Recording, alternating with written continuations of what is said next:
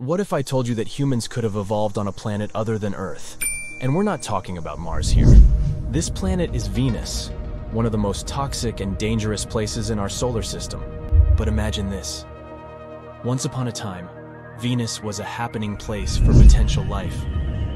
And maybe, just maybe, life was there. How is that possible? And what happened? Let's figure it out. Picture this a planet swathed in clouds and named after a deity of love and beauty, Aphrodite. Sounds enchanting, right? But don't be fooled. Venus, our neighbor, is the second planet from the Sun, and it's no picnic. Its surface is hot enough to melt lead, and the atmosphere is so thick that the Sun is just a blurry smudge. As you get closer to it, things turn from dreamy to downright hellish. About 30 miles up in the atmosphere, temperatures range from 86 to 158 degrees Fahrenheit. And this is just the beginning. To survive on Venus, you'd need super duper insulation, because temperatures can reach a sizzling 900 degrees Fahrenheit. Plus, the weight of the atmosphere would bear down on you like being submerged deep in the ocean. The atmosphere is mostly made of carbon dioxide, and down at the surface, it behaves in a corrosive way due to the intense heat and pressure. The sky is sulfur yellow, and the clouds are composed of sulfuric acid. The surface is filled with active volcanoes and craters. Yikes! It's like the environment itself turns against you. Venus is often referred to as the Earth's twin. That's because Venus is almost as big as Earth, just a tad smaller, and these two planets look quite similar on the inside. But in reality, Venus is more like Earth's opposite than its twin. It spins in the opposite direction, has longer days than years, and has no seasons to speak of, not even mentioning its crazy weather conditions. But believe it or not, it wasn't always this way. A long time ago, around 3 billion years after it was born, Venus might have been a watery wonderland like our beloved Earth. It had a cozy climate, and researchers think there was even enough time for life to emerge. But how do we know that? Back in 1978, NASA's Pioneer Venus spacecraft discovered hints that Venus might have had oceans on its surface. Since then, scientists have sent more missions to explore the planet, and they've learned some fascinating things about its past. NASA researchers have come up with five cool simulations to show what Venus was like with different amounts of water covering its surface. To create these simulations, scientists used a fancy 3D model that takes into account the gases in Venus's atmosphere billions of years ago and how they are now. They also considered how the sun's radiation has changed over time, getting warmer as it ages. And it turns out that Venus used to be a lot like Earth. All simulations suggest that Venus could have had stable temperatures, ranging from a comfy 68 degrees Fahrenheit to a toasty 122 degrees Fahrenheit. In some of the simulations, Venus had a similar landscape to what it has now, with a shallow ocean and some water trapped in the soil.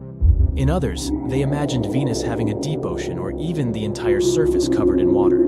Surprisingly, in all these scenarios, Venus could have maintained temperatures suitable for liquid water. Now, imagine a parallel universe where Venus stayed this way. What if things turned out differently and it was still as cozy as Earth? It could have been the perfect place for humans, its oceans would have provided a nurturing environment for life to flourish and evolve. The temperatures would have been like a perpetual springtime picnic. Can you imagine lounging under a Venusian palm tree, sipping Venusian lemonade? Ah, the good life.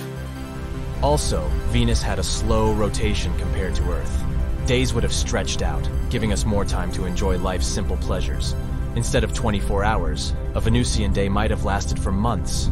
You could have taken an extended vacation and still had time for a full makeover. And what about the higher atmospheric pressure? It may sound intimidating, but it could have actually worked in our favor. The higher pressure would have provided a cozy and snug environment, like being wrapped in a warm, fluffy blanket. No need to worry about the chilly winds of other planets. Venus would have had us covered. Oh, and remember the acidic atmosphere? It may sound strange, but it would have had its benefits too. Venus would have been a carbon dioxide-loving paradise. Plant life would have thrived, creating lush landscapes and filling the air with fresh oxygen. So in this scenario, Venus could have been our haven among the stars. So what happened? What has ruined Venus?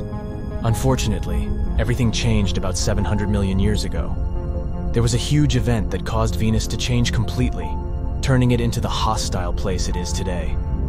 it experienced a runaway greenhouse effect, which made its atmosphere super thick and scorching hot. A runaway greenhouse effect sucked all the water into space, leaving behind a scorching surface of volcanic rock with thick, crushing atmosphere and acid clouds. Yikes. So what caused this catastrophic transformation? Well, our experts believe it may have been due to volcanic activity. When magma and molten rock reached the surface, they released a bunch of carbon dioxide into the atmosphere. If the magma cooled before reaching the surface, it created a barrier that prevented the gas from being reabsorbed. Massive amounts of gas were released into the atmosphere. Something similar happened on Earth with the Siberian traps, which caused a mass extinction. Venus had its own mega transformation, so, unfortunately, this catastrophe changed the history of our solar system once and forever. But here's the fascinating part. This little mysterious planet still could teach us a lot about the origins of life. For example, if Venus was once habitable, it opens up exciting possibilities for exoplanets in the Venus zone of other star systems. Maybe they could support life too. There's also a critical question that scientists ponder. How do these life-friendly worlds come into existence? Early on, Venus and Earth were strikingly similar. They were close in size, had similar structures inside, and even had oceans in their youthful days. But one planet turned into a scorching inferno, while the other became a thriving hub for abundant life. Why is that? And finally, believe it or not, we can't completely rule out the possibility of life on Venus even now. Up high in the thick yellow clouds where the temperature, air pressure, and chemistry are friendlier, there might be a chance. That's a range where earthly life, like tough extremophile microbes, could potentially survive. The atmospheric pressure up there is similar to what we experience on Earth's surface. We've even noticed strange dark patches in its atmosphere that come and go. Dark streaks persist, defying hurricane-force winds and absorbing ultraviolet radiation. Scientists are scratching their heads over these persistent streaks. They suspect they could be made of fine particles or ice crystals, but here's where it gets wild. Astrobiologists consider another option. Could these streaks be made up of Venus-style microbial life? They theorize that ring-shaped sulfur compounds in Venus's atmosphere could act as a protective coating for the microbes. Wouldn't that be amazing? That's why, by studying why Venus went down a different path in terms of habitability, we can unlock the secrets of what makes other worlds just right for life. However, there are still mysteries to solve, we need more missions to study Venus and understand its history better. For example, learn how quickly it cooled down after its formation. We also want to figure out if the transformation was a one-time cataclysm or a series of events over billions of years.